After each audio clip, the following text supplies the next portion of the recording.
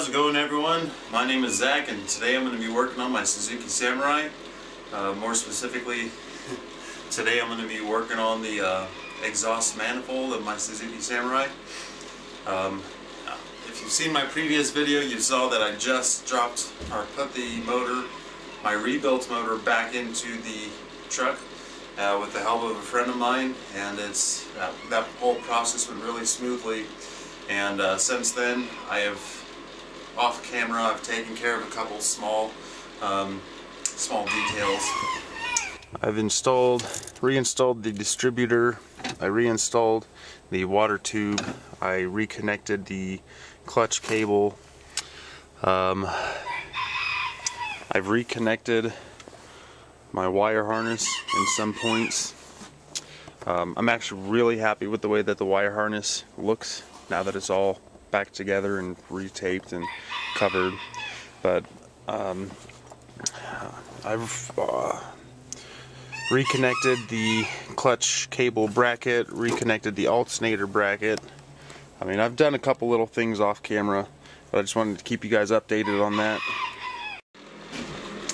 I've also painted the heat shields for the exhaust manifold. I painted them to match the uh, natural silver silver aluminum color that I did the block and the exhaust or intake manifold. Um, I also painted the the boot, not the boot, the cover for the uh, goes on. This goes on top of the carburetor um, for the air intake. I have my carburetor and intake manifold sitting up here waiting to be installed but so anyways today I'm going to be doing some very mild work on my intake uh, exhaust manifold um, if you've seen one of my previous videos from way back when I originally took it off it was probably about two months ago or so. When I took off the exhaust manifold, I noticed that there was um, two cracks in the exhaust manifold. Uh, nothing major, just uh, something that I want to take care of. I want to uh, grind a groove in it and uh, prep it for welding. I'm just going to put a bead right over uh, the cracks and that should hold up enough for me to be able to run it properly. I don't know how well you'll be able to see it, but right where my pen is, starting from about right here all the way up to the end right up here there's this uh, surface crack. And granted it's really not a big crack but it's a crack regardless and I need to do something about it. Um, so what I'm gonna do is I'm gonna just kinda take a wire wheel and just clean up in this little gully right here. Just kind of clean it up get all the surface debris uh, out of there so that when I weld I can get some uh, get a good weld without any contamination. Um, the second less lesser crack is on the uh, number three port and it starts right at about here and follows up to about here. It's it, there's this one in particular is a really really small crack. Uh, it's more of a surface crack. It's like the beginnings of a crack, um, but again, it just it really does need to be taken care of. Uh, just for my own peace of mind, I don't want it to mess with my uh, the uh, exhaust readings. I don't want the ECM to read incorrectly and make my engine run funny. So the same, uh, I'm going to do the same thing on this side. I'm just going to kind of wire wheel it up, clean it up just a little bit, and uh, then take a, a uh, grinding wheel and then just in a vertical pattern just come straight at it and just create a notch or a groove for me to drop a uh, deposit a weld in. So that's just what I'm going to do. This isn't going to be that extensive of a video. Uh, it's going to be real short, simple, sweet, to the point. Um, so let's just go ahead and get at it. Let's do this. So, goes without saying, I'm going to be using a wire wheel. Don't forget your safety. Um, you don't want any debris going into your eyes because obviously that would suck. So if you're going to do something like this, be sure to use your, uh, your eye safety.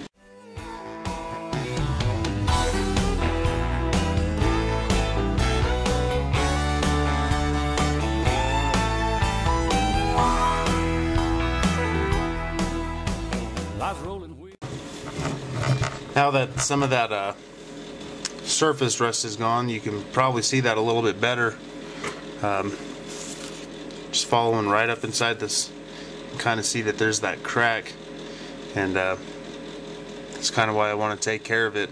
It's just that'll definitely mess with my uh, exhaust as it's going out, especially since my sensor is right here.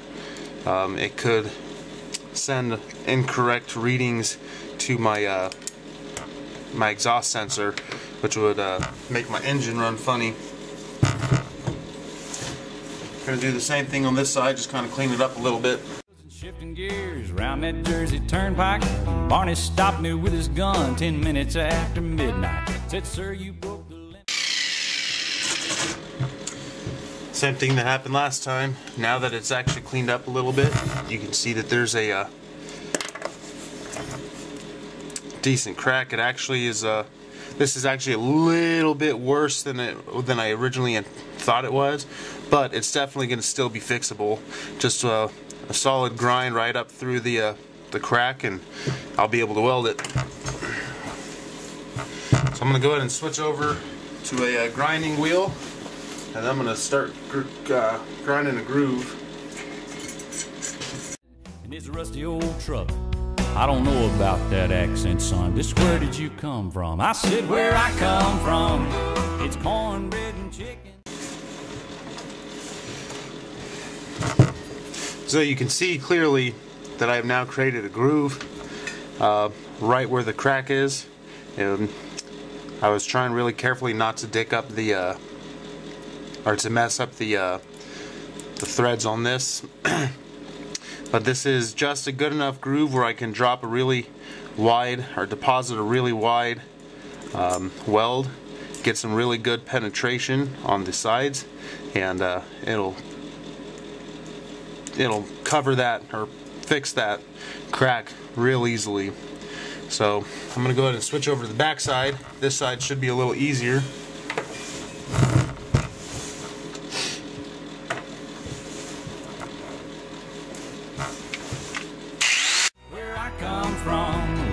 Front porch sitting. Where I come from. And just like that, that is uh, ready for some welding. Uh, it's that was a really perfect groove, and I'll be able to weld that up no problem. So I think in the meantime, I'm just going to spend a little bit of time cleaning up the uh, cleaning up the manifold itself, and uh, I'll just come back tomorrow once I have my welding hood, and uh, I'll weld this up, show you guys what it looks like. Trying to make a living working hard to get to heaven where I come from. I south of Detroit City, pulled in this country kitchen. Try their brand of barbecues, sign said finger licking. Well, I paid the tab and the lady asked me how'd I like my biscuit. I'll be honest with you, ma'am, it ain't like mama. So I got the um, exhaust manifold just kind of wire wheeled up a little bit. I got the grooves ready to be welded. Got that groove. And uh, so I'm to just go ahead and start welding. Cause where I come from, it's cornbread and chicken. Where I come from, a lot of front porch picking. Where I come from, trying to make a living and working hard to get to heaven. Where I come from.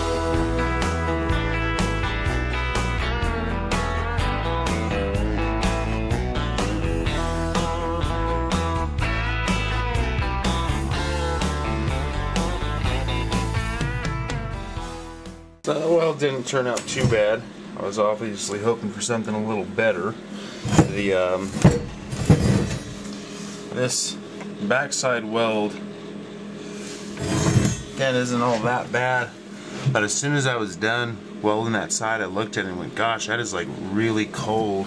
It just kind of if I can get a side angle on that. It just kind of bubbled up really, really tall. It was very uh, convex and it kind of dawned on me. I was like, "Oh man, this is uh, cast iron," and cast iron needs to be preheated. That's why on this other side I uh, got my propane torch and heated it up before I welded it and it came out uh, more flat came out a lot flatter than the other side and it just looks a lot better the uh, welding on cast iron is not something that should be done. Should be brazing cast iron but I figured just for the exhaust manifold a two small welds ain't gonna hurt nothing. So that's all done and it's ready to go so gonna let it sit. Probably sit overnight just to let the uh, heat die down and then I'll come out tomorrow and I'll put it all together I was chasing sun on 101 somewhere around Ventura. I lost a universal joint and I had to use my finger. This tall lady stopped and asked if I had plans for dinner. Said, no thanks, ma'am. Back home, we like the girls that sing soprano. Cause where I come from, it's cornbread and chicken. Where I come from, a lot of front porch sitting. Where I come from. Okay, so I got the exhaust manifold connected to the block. Took me a moment.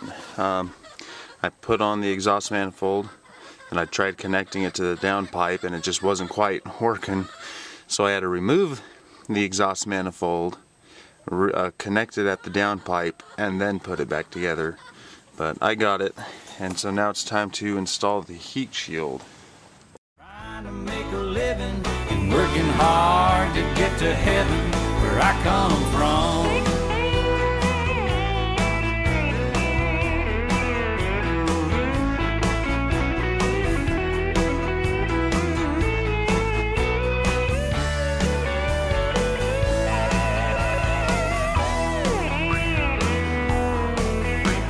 was heading home on 65 somewhere around Kentucky when the CB rang.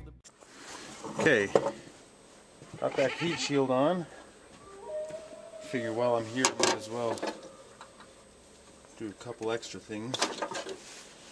I'm gonna put this uh, sensor back into the exhaust.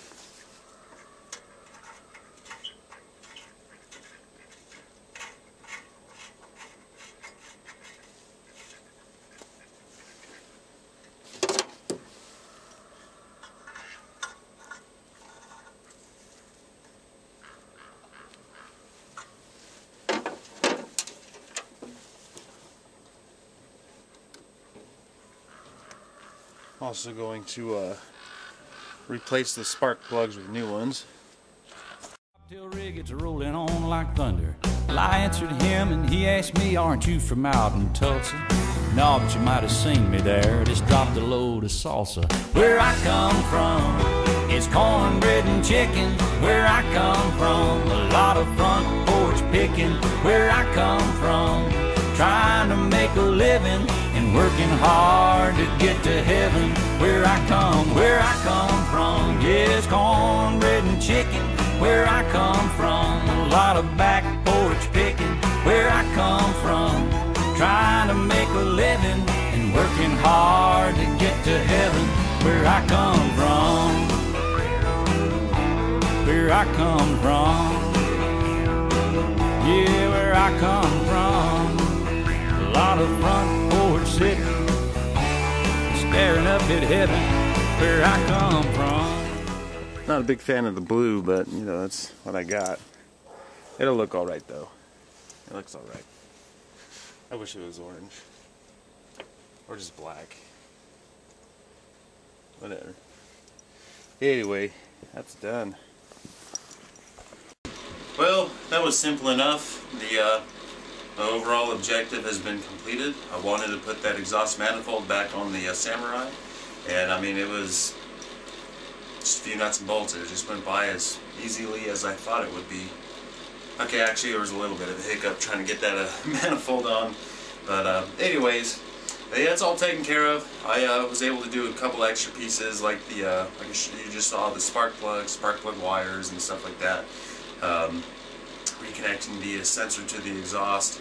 So that's all taken care of. That just puts us one step closer Um, currently I'm waiting for uh, some parts to arrive in the mail. I uh, bought the alternator conversion kit for the uh, CS130 style um, alternator. I ended up purchasing an 88 an 88 Chevy Corvette alternator. Uh, it looks like it's exactly what I needed or what I'm going to need to do that conversion. So I'm just waiting for that to arrive in the mail. I have two of my five parts already, just waiting for the alternator, the conversion bracket, and then I'm going to have to buy a uh, new belt for it. So just one step closer um, to getting this thing up and running. I'm really hoping that I will be able to have this thing running by the end of the month. So thank you guys so much for watching. I really hope you enjoyed this video and uh, I hope you enjoyed seeing where I'm at with the Samurai project. Uh, if you did enjoy what you saw and you'd like to see more, please leave a like, uh, comment on my video and tell me how much you enjoyed the video and definitely be sure to subscribe and I'd really appreciate it. So thank you so much for watching. I hope you guys tune in next time to see my next video.